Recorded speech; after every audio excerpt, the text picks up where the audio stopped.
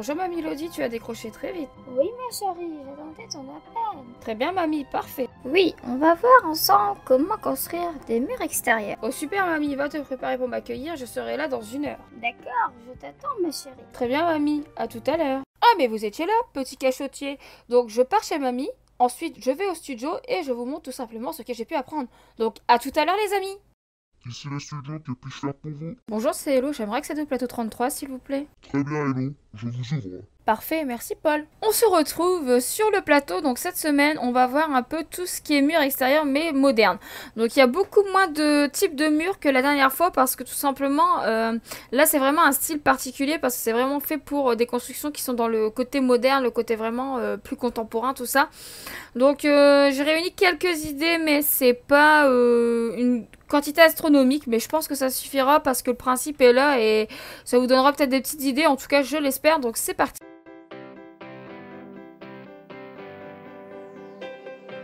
Donc ma première idée c'est celle-ci tout simplement. Donc vous allez prendre de la neige, vous allez euh, avoir 5 euh, de long par exemple. Vous allez mettre 3 là pour laisser euh, bah, de la place pour tout simplement la porte quoi, en gros l'entrée.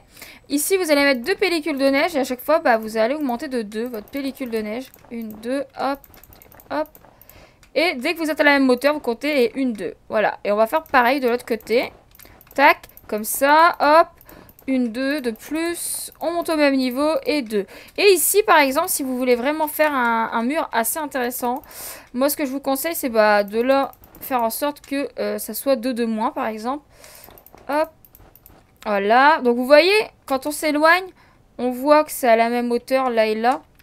Une, 2, et là bah après vous repartez, vous voyez une, 2 et ainsi de suite. Comme ça, bah, vous allez pouvoir avoir un truc assez, euh, bah, assez linéaire et avec du relief. Donc c'est vraiment ça qui est intéressant dans le moderne, c'est d'avoir un effet de relief. Et les pellicules de neige nous permettent de faire ça assez facilement. Donc je trouve ça assez euh, intéressant. Après voilà, c'est les goûts et les couleurs. Moi je vous montre de tout. Après je ne ferai pas forcément comme ça, mais j'essaie de vous donner des astuces et des idées. Après voilà, vous prenez ce que vous voulez. Moi je m'en fiche, mais je vous donne des idées. Donc voilà pour la première idée.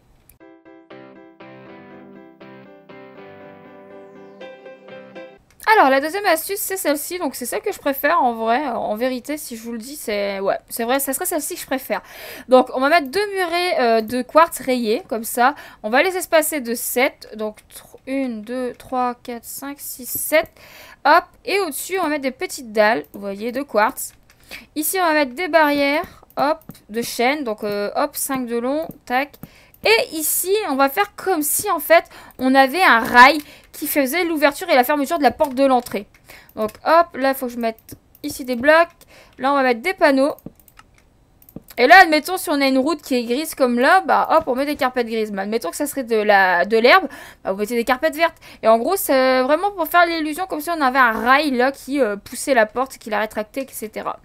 Donc ensuite, là, je vais mettre trois de long, euh, des petits buissons, des petits feuillages, hein, le feuillage que vous voulez. Euh, non, là, du quartz rayé, pardon, avec une petite dalle. Et ici, je vais prendre du concrete powder blanc, voilà, tout simplement. Hop, dessus, on va mettre des carpettes blanches, histoire de donner du, relief autour de notre cadre. On va mettre de l'herbe ici, et tout simplement, bah, vous allez mettre des herbes, Hein, des plantes, des herbes, histoire de faire un peu de variété et de, de couleurs au niveau de votre contour autour de chez vous. Voilà. Donc ça c'est vraiment ça le... J'adore l'idée du rail comme ça, un peu de végétation, tout ça. Je trouve que dans du moderne ça passe assez bien. Et le quartz, bah, enfin le blanc c'est vraiment euh, fort utilisé. Donc je pense que c'est une, une bonne astuce. Donc voilà pour celle-ci.